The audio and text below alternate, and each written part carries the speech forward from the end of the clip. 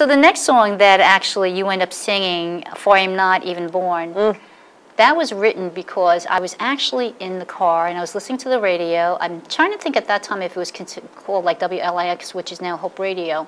And they, I believe, I think it was Pastor Rich, uh, and was interviewing somebody um, who uh, was talking about partial birth abortion and had mentioned how it was done, and in which they drill a hole in the skull and they actually suck out the brain. Oh, And so then it, it allows them to crush the brain uh, to be able to take the baby out. I mean, it's just gross. It's just um, unbelievable the way um, things are happening. And, and as we know, Planned Parenthood and what they're doing, uh, you know, selling the body parts and things like that. I mean, you know, I was I was actually left two days old in a bathroom in Korea.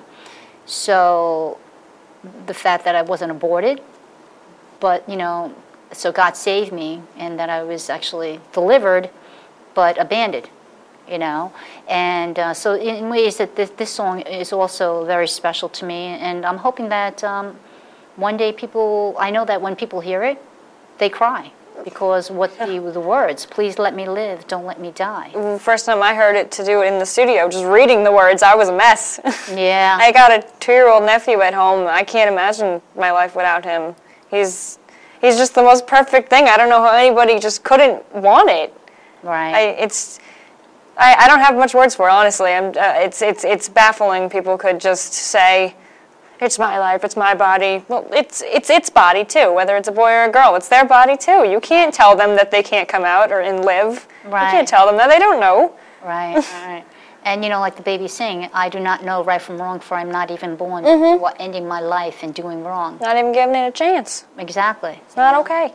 Right, right. And you know what? If they don't want to have the baby, then they should put up the baby for adoption. I'm adopted. You know, there are parents out there that are praying for babies. that they they can't have them themselves. They Right. So I so I'm, I'm so this song I'm going to have you sing because I just feel that it's really going to touch the hearts of many and and I'm praying that one day it'll actually go national because I do feel that that song this song is a very Great um, it's a great song that'll really make people think. Okay, so um, I'm going to have you sing for I'm not even born. Thanks.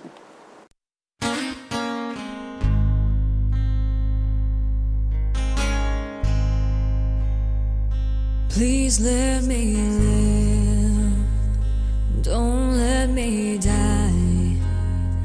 If you know God, then do His will.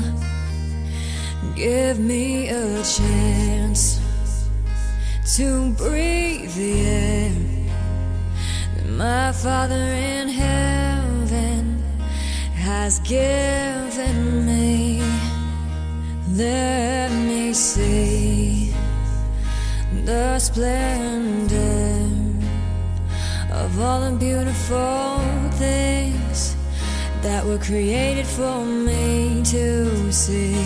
Let my soul long for God and let the Spirit of God come alive inside of me right now. I do not know right from wrong, for I am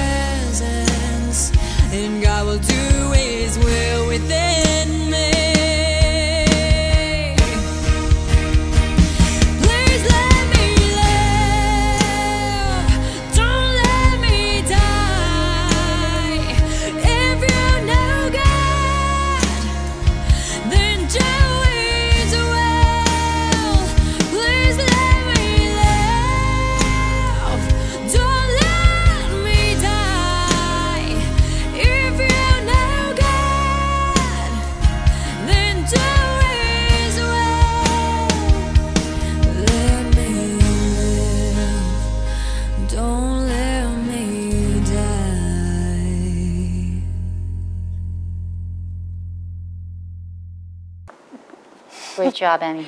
You know what I'm saying? I mean, you really touched the hearts of people with this song, and I'm sure many people, um, whether or not some maybe had gotten an abortion, that it's even going to affect them more. But the thing is, I'm hoping that this song will actually uh, aff- really affect the ones that are contemplating on having an abortion, and that they would choose to let the baby live. Because they have plenty of options. There are plenty of options. Oh, yeah. There are, you know. And um, I know sometimes uh, people contend, or young kids could tend to do this because of how they're going to be looked at, or the parents are going to be mad and things like that. Um, and I just think sometimes the parents need to do the right thing and not force the children to do something that they really don't even want to do, or that they shouldn't even do it even if they want to do.